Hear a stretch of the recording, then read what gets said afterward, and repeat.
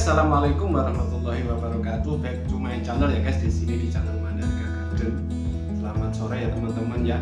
Selamat beraktivitas. Hari ini kita akan membahas sedikit tentang bertani horti teman-teman ya, bertani hortikultura dan sayuran teman-teman. Jadi kali ini kita akan membahas seberapa penting sih kalau bertani itu satu item saja, satu item saja misalnya menanam timun saja atau harus ada yang lain teman-teman ya. Artinya kita ini menanam Eh, menanam apa namanya tumpang sari atau menanam tunggal.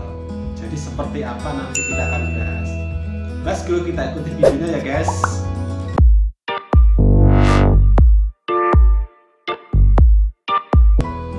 Halo teman-teman ya langsung saja kalau kita bicara pertanian hortikultura maupun sayuran atau buah teman-teman saya kira eh, bila dibanding dengan pertanian lain itu memang kita lebih unggul ya teman-teman ya misalnya gini teman-teman padi lah kalau dibanding dengan pertanian hortikultura jauh teman-teman ya. Seperti saya menanam timun itu kalau dibanding dengan menanam padi itu hasilnya memang lebih baik menanam timun teman-teman. Ini kenapa saya bicara seperti itu? Ya karena saya itu memang menanam padi juga menanam timun teman-teman. Jadi eh, bahasan kali ini eh, seberapa penting ya kalau kita ini ya eh, menanam apa ini pertanian beberapa item teman-teman. Ya jadi uh, mungkin bahasanya tumpang sari ya. Cuman kalau saya sendiri entah itu tumpang sari entah enggak saya uh, kurang kurang apa ya bahasanya ini ya. Intinya uh, kalau saya ya teman-teman itu memang selalu menanam lebih dari satu item teman-teman. Jadi saya itu tidak pernah menanam hanya timun saja tidak pernah teman-teman. Pasti ada yang lain.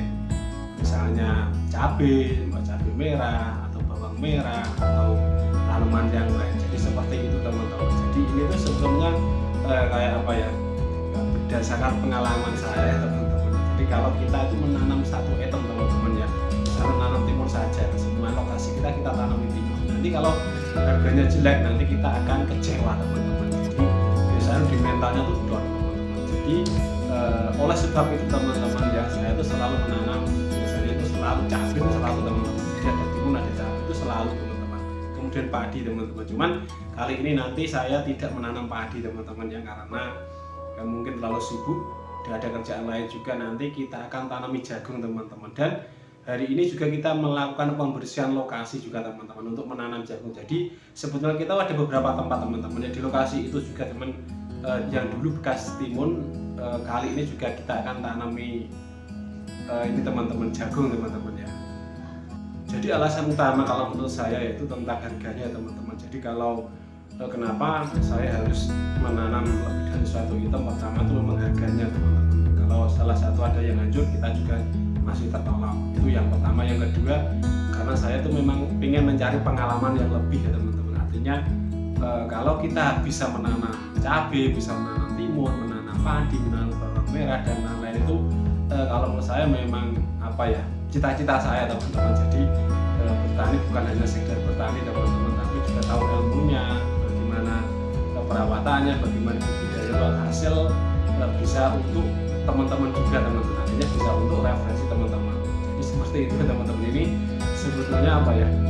E, gambaran sedikit teman-teman dalam mendapat pengetahuan karena di sini juga tidak ada petani yang masternya tidak teman-teman. Saya juga